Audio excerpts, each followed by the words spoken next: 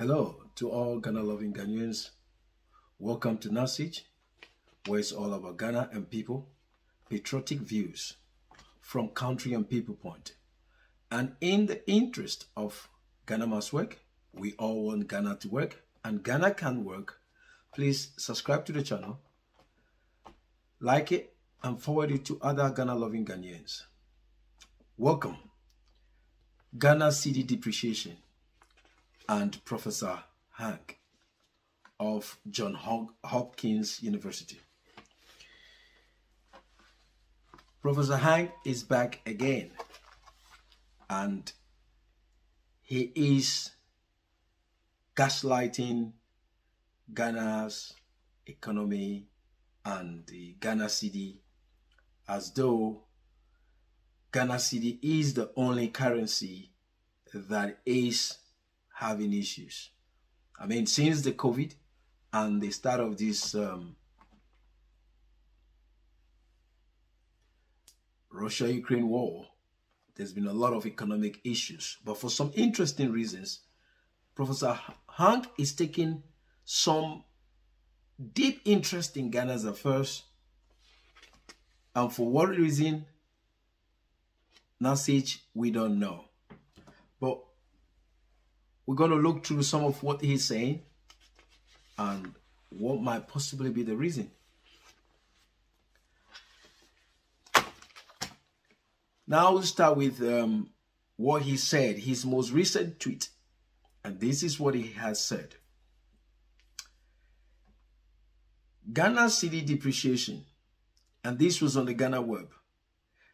Ghana's economy death spiral just keeps spinning at high speed. That's what he said. As a matter of fact, it is painful that Professor Steve H. Hanke of John Hopkins University, United States, will sit in US and wanting to gaslight Ghana's economy for reasons best known to himself. And as a matter of fact, as NutSege is a patriotic channel, in the interest of Ghana and people, we say he should back off and stop interfering in our economy and democracy. It feels like Professor Hanke is a propagandist projecting speculative figures and information about third world countries for the benefit of US dollar and its economy. And it's possible that he's been doing this for a long time now. Look at his inflation table. He has his own personal inflation table. Where he got his information from, of course, I have some information, what prevailing information he uses to, to tabulate or speculate those his inflation figures that are out of alignment and is nowhere near what is the official figure on the uh, trading economics.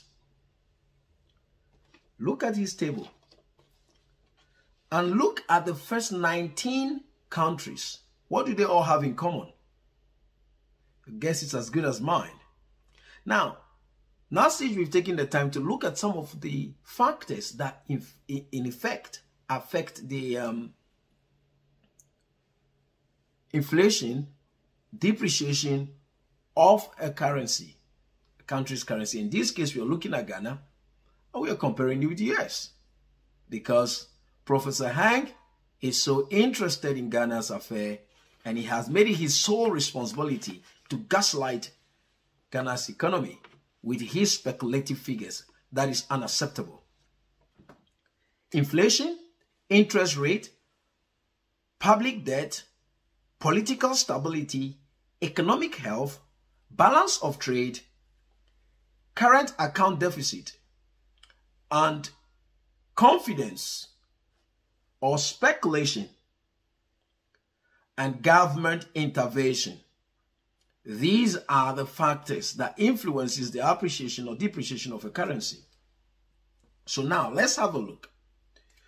It, it said countries with inflation typical uh, low inflation typically have stronger currency compared to those with higher inflation rates.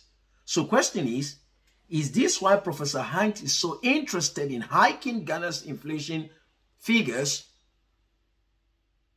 outside of what the official figures are to succeed in making sure Ghana's cedi is weaker than the US dollar, especially where Ghana is on its way to agreeing some sort of deal with IMF?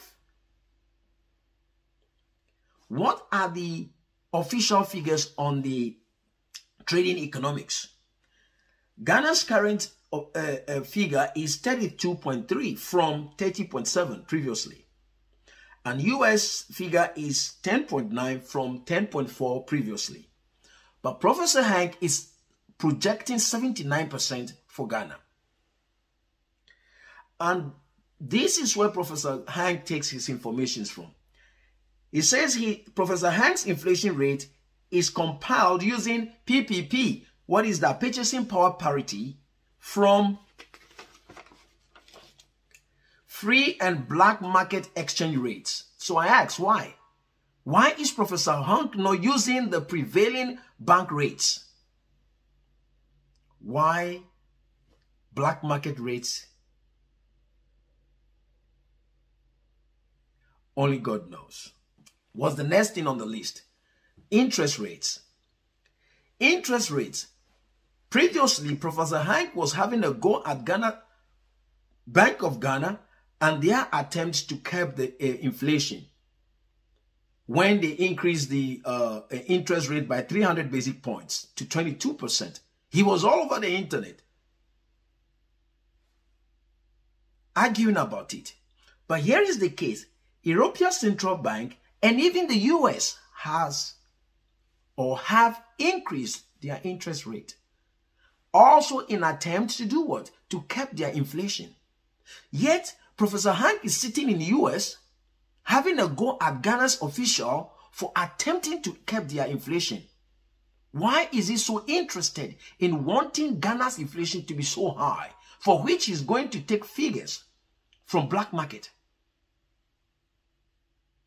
Not only that, US and European Central Bank, they stay hawkish into the future, according to their own assertions. Now, Sage, we've decided to look at some more informations on this depreciation. As per our previous video or input, we believe that the depreciation of Ghana's currency is questionable and is possibly not natural. Maybe it's manipulation, especially with Professor Hanke on the internet projecting speculative figures to the disadvantage and detriment of Ghana's economy for which he is saying is on his death and is on a what how did he even put it this is how he put it. Ghana's economy death spiral just keeps spinning at high speed. You see the choice of words? He's playing with words.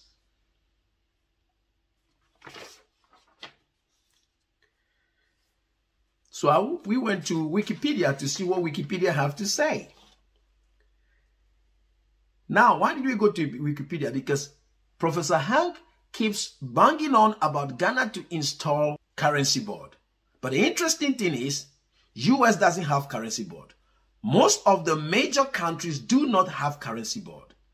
And not to jump forward, I'll go through it and show you some informations, the challenges that comes with having a, um, a currency board and what it takes to achieve it and the possibility of causing hyperinflation our officials should not listen to him. Doesn't matter how he is a professor for America, he should help them. We are fine. We will come out of it. So, based on that, we decided to look at what is this about this currency board. Now, this is what Wikipedia have to say. Now, I'll read it verbatim, okay? A currency board is a monetary authority which requires which is required to maintain a fixed exchange rate with a foreign currency. In this case, possibly Professor Hanke wants us to use US dollars, the pegging figure for our currency board. This policy objective requires the conventional objectives of central banks to be subordinated to the exchange rate target. In colonial administration, colonial, in colonial administration, currency boards were popular because of the advantage of printing appropriate denominations for local conditions, and it also benefited the colony with seigniorage revenue. However, after the World War II, many independent current, current countries prefer to have central banks and independent currencies. Professor Hanke, Ghana is not a colonial nation anymore, so stop forcing us to install a currency. But if US doesn't have it, uh, why are you insisting we should have it?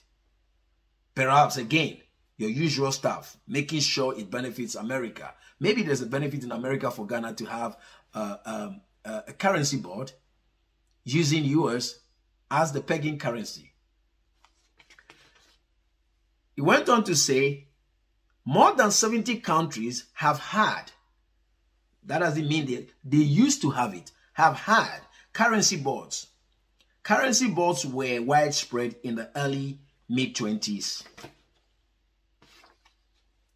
That's what Wikipedia have to say. Now let's go to IMF site. At the IMF site, there's a, an article there that is said to be December 1998, volume 35, number 4 and it is titled Are Currency Boards a Cure for All Monetary Problems? Question mark. On that article, there are 14 countries that have the currency board. 10 of those countries uses US dollar as the pegging currency. Think on that. But this is what is said on the IMF website, and I'll read. Currency board arrangements may be coming back, may be coming back into fa fashion. But these nations are not colonial nations anymore. So what benefit is it for them? Anyway, what recent success have countries had with currency boards? And in what circumstances are they most likely to be effective? Question mark. So it is not proven that it is effective. There are so many things written, I've read them, but I've jumped to the conclusion of the article and I'll read it again verbatim. I hope you have uh, you're listening. Currency boards in many countries have achieved impressive economic results, both in achieving lower inflation than other exchange rate regimes and in stabilizing expectations after prolonged after prolonged hyperinflation. There have thus been calls for such already Ghana's inflation is going up and you want them to install a currency board in this very crucial time to set our inflation on the cost of hyperinflation. Who would do that? There have thus been calls for such arrangements to be established in rather diverse uh, groups of other countries, many of which are in crisis. Such calls should be viewed worriedly. This is IMF. The article is on the website of IMF. This should be viewed worriedly by national governments for at least three reasons. First, the success stories largely reflects the experience of smaller countries. And I've seen the countries, some islands and very small, smaller than Ghana. Only a few, I mean, two, I think, big countries, I think. First, the success stories largely reflect experience smaller experiences smaller countries have had with currency boards, whose application to larger countries has yet to be fully demonstrated. Bear that in mind. Second, and equally important, the successful establishment of a currency board arrangement requires time. So even though Professor Hanke is jumping on about it, banging on Ghana should install a currency board, it is not like it just push off a button. It requires a lot of input. It requires a lot of work. It's not an overnight thing. Arrangement requires time for building consensus as well as for careful planning and implementation of important legal and institutional changes. So currency board installment is not just coming as, oh, just no. There's going to be changes, institutional changes. Who's paying for them? Who's going to pay for that? Professor Hanke? Thirdly, countries with one or several weak banks may have to rehabilitate them before changing their monetary regimes. Hello? These re requisites to establishing a currency board may in many cases be too involved and too much time to take it, too much time to make it advisable for a country to attempt to do so during a microeconomic crisis, which, of course, evidently, Ghana's inflation is going up. Those challenges, the cedi is depreciating either by natural means or by manipulation. It is depreciating. So, as stated earlier, is Professor Hanke a propaganda tool for US dollar and its economy to get third world countries to opt in for currency board? Even though it is not proven yet to be effective or will be effective with bigger countries like country, Ghana. Because the countries on the list, they are not as big as Ghana. Only two, maybe Argentina. The next country is Djibouti and some Caribbean islands, right? But look at the exchange rate as far as this Djibouti and Argentina is concerned. One US dollar is to 140 US uh, uh, Argentina pesos. One US dollar equals to 177 Djibouti franc.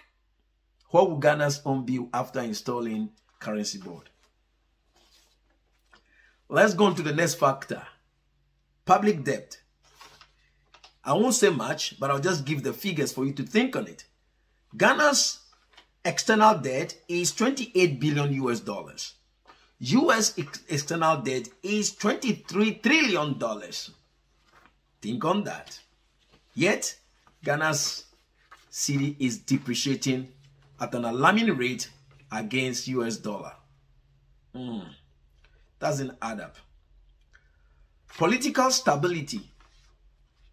Here I want to say, is this why Professor Hanke is trying to say uh, shops are closing down in Ghana for uh, in demonstration. Like I said previously, shops are closing in UK, in America, all around the world because of the post-COVID tailwinds that is running through the nations. So it's not only Ghana. But at the moment, I would say the US political scene is more turbulent than Ghana. Why do I say so? Biden just declared almost more than half of the nation as extremists because they support a certain group of people. That is a serious disposition. At least Nana Akufo-Addo has not declared half of Ghana's population extremists. So if there be anything that should make a country unstable to affect its currency, it should be America. So why is Professor Hanke on about Ghana?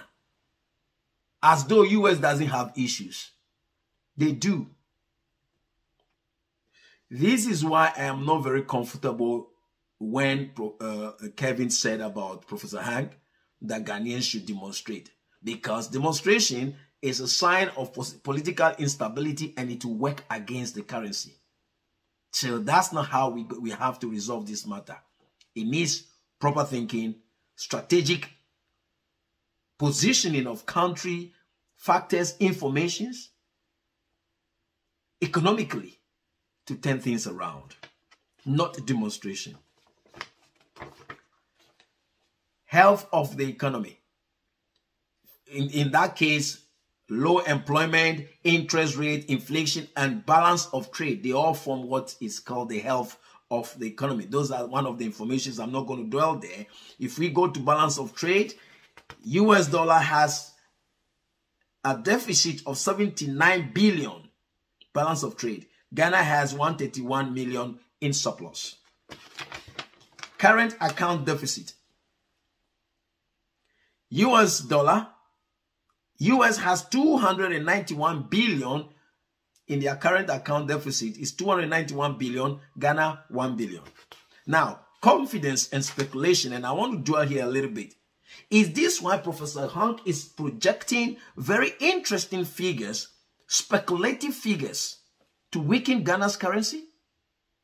Because if confidence and speculation is one of the factors that appreciate or depreciate a currency, then Professor Hanke's behavior is unacceptable, it is deliberate, it's a propaganda behavior to drive Ghana's currency very low to the advantage of the US dollar, especially as Ghana is on its way to IMF. Ghana owes IMF, Ghana owes World Bank, and what do you think that is? It's going to be very difficult for Ghana to pay. And that means whatever the interesting deals that we're going to be giving, they have no choice than to accept.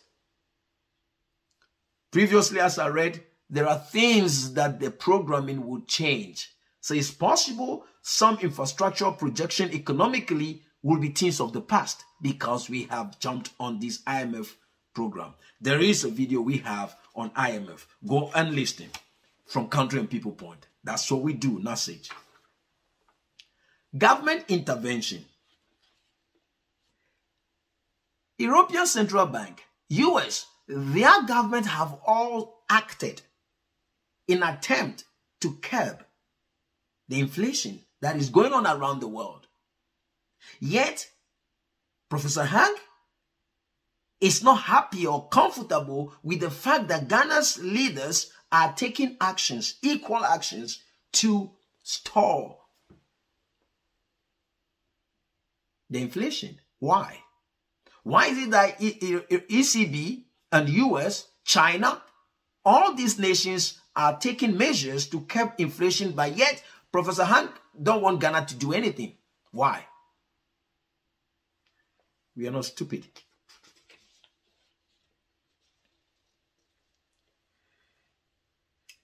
What did they do? ECB and US, as I've mentioned previously, they have increased their interest rate and their central banks are hawkish in long term.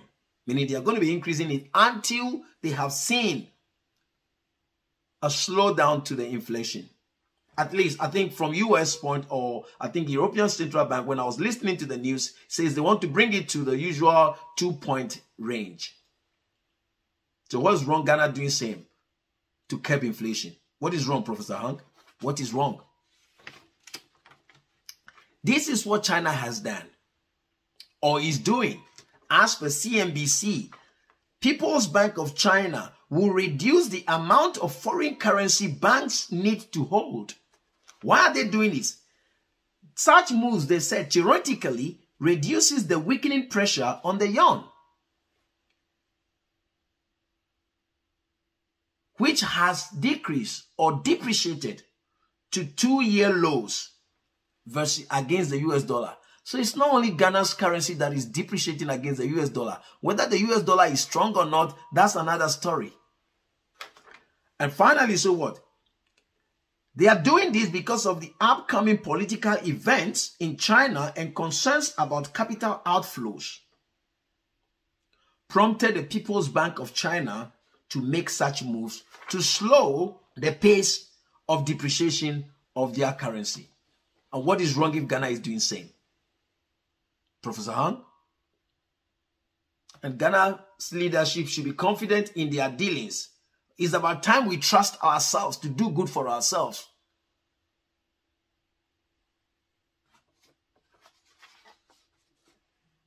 Because the whole world is at war with inflation. So in a mob fight, you got to watch out and throw your own blow. So Ghana throw your own blow and do what needs done.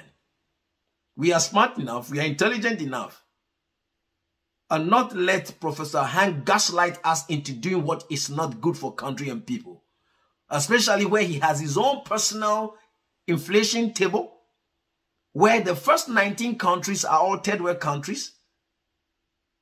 And what do they all have in common? So before Professor Hanke sits in America, gaslighting Ghana's economy, using words to frighten Ghana, to say Ghana's economy on a death spiral at a speed, and banging on about Ghana installing currency but even though it takes a lot for that to happen and that could trigger hyperinflation, he should leave Ghana alone. We are smart and intelligent enough to do something about the situation.